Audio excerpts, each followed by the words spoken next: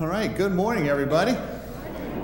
I'm apologizing in advance. Uh, for some reason, I'm slightly healthier of the two of us, but it's only slightly. Uh, if I start, I, I will probably start coughing at some point during this, so excuse me for that. But anyway, uh, we're going to talk today about this idea of light and dark. And I don't know about you, but when I hear this idea of light and dark, I immediately, my mind goes to light bulb jokes. Doesn't it go to you? No? Well, it does for me, so you're going to hear it anyway. You're going to hear. For example, for example, and this is the old how many, in this case, how many bosses does it take to put in a light bulb? The answer is three, because you need one to get the bulb, one to look up a phone number, and one to call somebody to actually do it. How many telemarketers does it take to put in a light bulb? Only one, but they can only do it during your dinner time.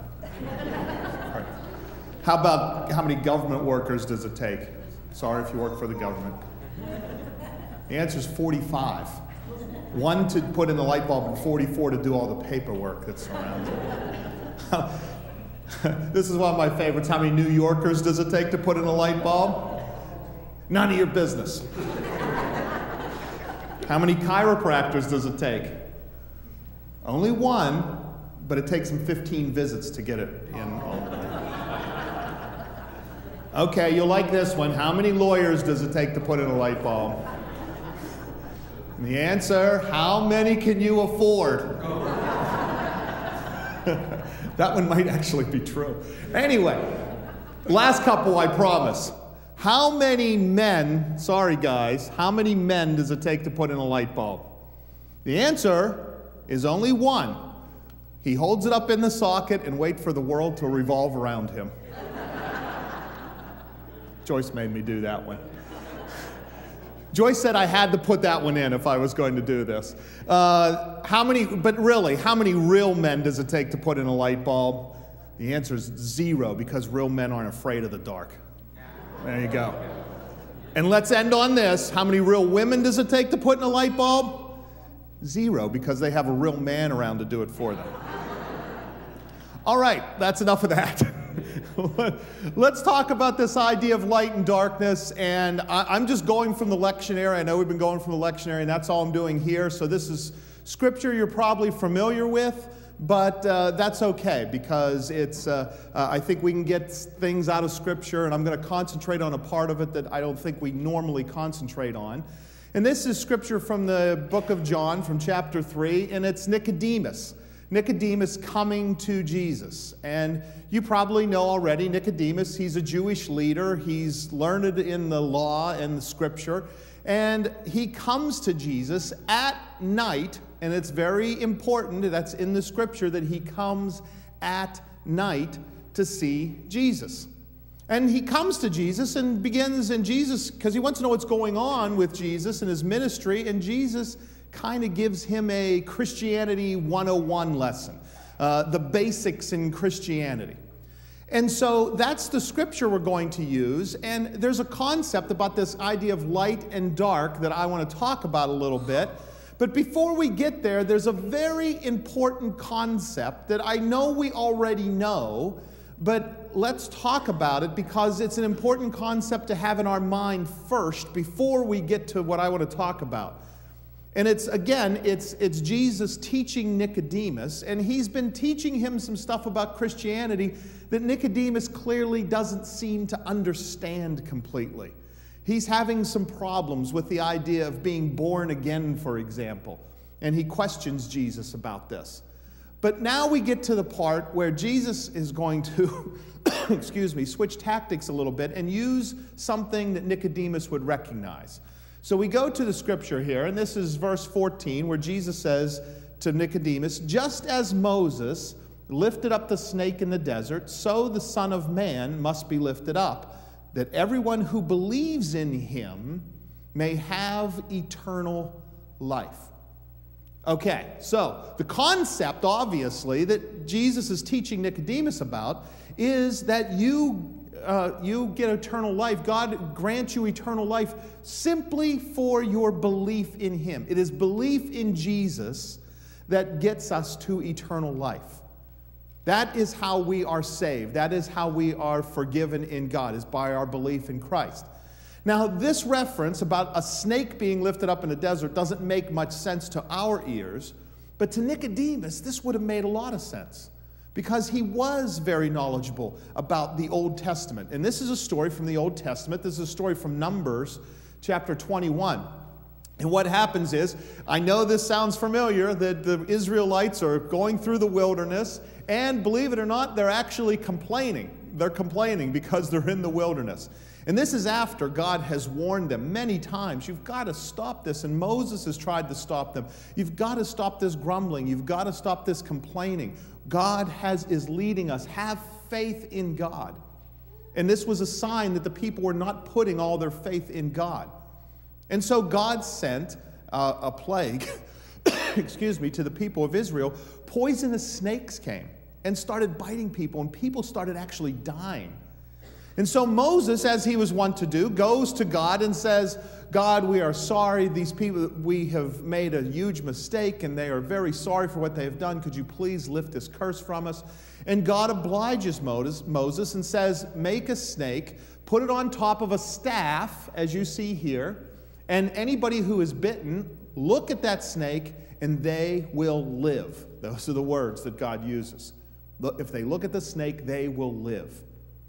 And so to Nicodemus, this made sense to him. This idea of the snake being lifted up, and people looked on it and they lived. And now Jesus is saying there's an analogy here that he will be lifted up, and looking upon him or believing in him, you will live. Now, not just physically live, but this is talking about eternal life. But you get the analogy, you get the comparison that he's making here.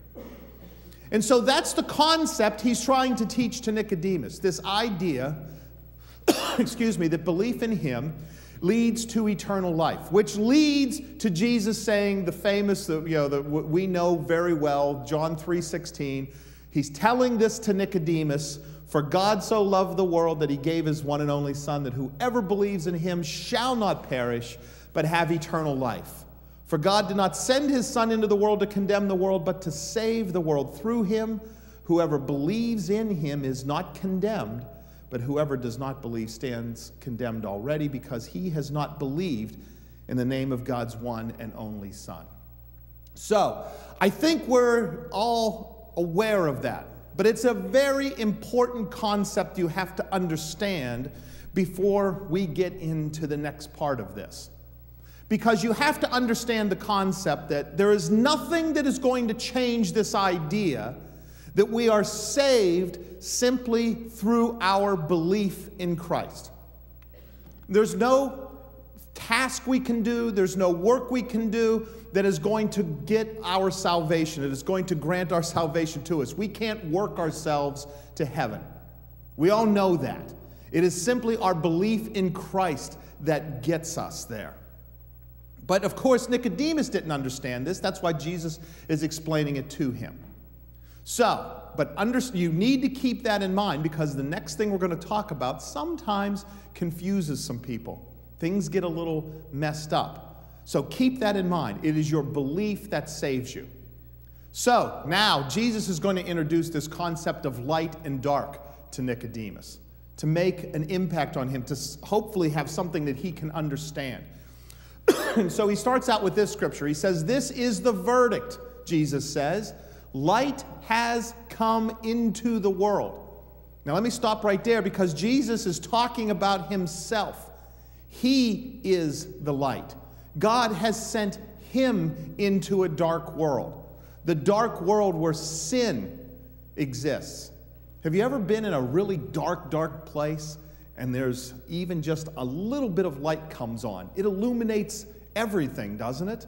It is amazing how much just a little bit of light will do in a really dark place. And Jesus is saying now He is the light introduced into total darkness in the world. And of course, it's going to light up everything. He is the ultimate light. And so he says to Nicodemus, This is the verdict light has come into the world, but men love darkness instead of light because their deeds were evil. Everyone who does evil hates the light and will not come into the light for fear that his deeds will be exposed.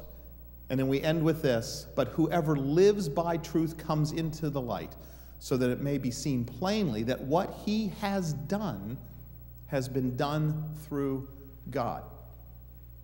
Now, I don't know, I was reading that on purpose a certain way. I was trying to emphasize those words, does and deeds. Did you notice that? Did you notice that there's Jesus is talking here about action?